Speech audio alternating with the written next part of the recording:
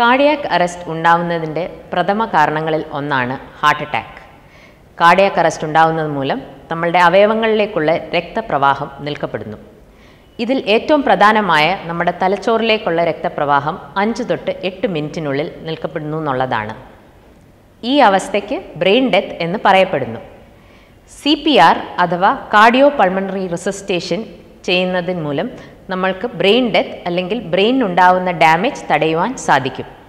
ഇനിയും C P R അഥവാ cardio pulmonary resuscitation എങ്ങനെ ചെയ്യാം എന്ന് പറഞ്ഞു തരാം. നമ്മളുടെ ഇടയിൽ ഒരാൾ കുഴഞ്ഞു വീഴുന്ന സന്ദർഭത്തിൽ നമ്മൾ എന്ത് ചെയ്യണം? ആദ്യം അയാളുടെ തോളിൽ തട്ടി ഉറക്കെ വിളിച്ചു നോക്കുക. പ്രതികരണമില്ലെങ്കിൽ സഹായത്തിന് ഒരാളെ കൂടി വിളിക്കുക. അത് കഴിയുമ്പോൾ കരോട്ടിഡ് പൾസും ശ്വാസോച്ഛ്വാസവും ഉണ്ടോ എന്ന് പരിശോധിക്കണം. ഇത് രണ്ടും ഇല്ലെങ്കിൽ സി പി ആർ തുടങ്ങണം. സി പി ആർ തുടങ്ങുന്നതിന്റെ ആദ്യ ഘട്ടമാണ് ചെസ് കംപ്രഷൻ ചെസ് കംപ്രഷൻ ചെയ്യുന്ന വിധം നമ്മളുടെ ഇരു കൈകളും ഇന്റർലോക്ക് ചെയ്ത് പത്തിയുടെ താഴ്ഭാഗം ഉപയോഗിച്ചാണ് ചെസ് കംപ്രഷൻസ് നൽകേണ്ടത്.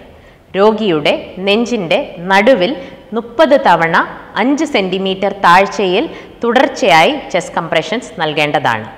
ഇത് ഒരു മിനിറ്റിൽ നൂറ് തൊട്ട് നൂറ്റി ഇരുപത് തവണ വരെ ചെസ് കംപ്രഷൻസ് കൊടുക്കാവുന്നതാണ്. മുപ്പത് തവണ ചെസ് കംപ്രഷൻസ് ചെയ്യുന്നതിന് ശേഷവും രണ്ട് തവണ രോഗിക്ക് വായിലൂടെ ജീവശ്വാസം നൽകേണ്ടതാണ്. ഈ പ്രക്രിയ രോഗിക്ക് വൈദ്യസഹായം എത്തുന്നത് വരെയോ അല്ലെങ്കിൽ രോഗിയിൽ എന്തെങ്കിലും പ്രതികരണം ഉണ്ടാകുന്നതും വരെയോ ചെയ്യേണ്ടതാണ്. ഒരു വ്യക്തി കുഴിഞ്ഞു വീഴുന്ന അവസരത്തിൽ നമ്മൾക്ക് നൽകാൻ പറ്റുന്ന പ്രാഥമികവും അടിയന്തരവുമായ ചികിത്സകളിൽ ഒന്നാണ് സി പി ആർ. ഇതിൻ മൂലം ഒരു ജീവൻ തന്നെ നമ്മൾക്ക് രക്ഷപ്പെടുത്താൻ സാധിച്ചേക്കാം.